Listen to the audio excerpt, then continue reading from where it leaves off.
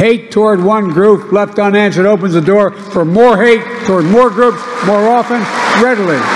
But here's what we history shows. The antidote to hate is love. The answer to twisted, dehumanizing Al-Jali, dehumanizing Al-Jali, dehumanizing Al-Jali is solidarity. It's not even close. It's not easy. It's never been. But it's who we are, people united by idea. United by idea. United by idea. We're the only nation in the history of the world organized not based on geography, ethnicity, or anything else. We're based on the idea. We're based on the idea. Well, that is one way to say it.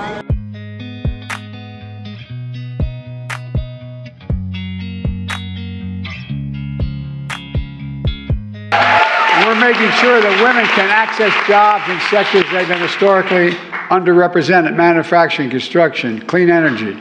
And I make no, I, no apologies for being pro union. I make no, I, no apologies for being pro union. This is, this is, this guy is, uh, he has no basis on understanding what American foreign policy is about and what our national security is about. The idea, the idea, the idea that we'd walk away from a sacred obligation that existed since World War II and kept the peace. His brain is gone.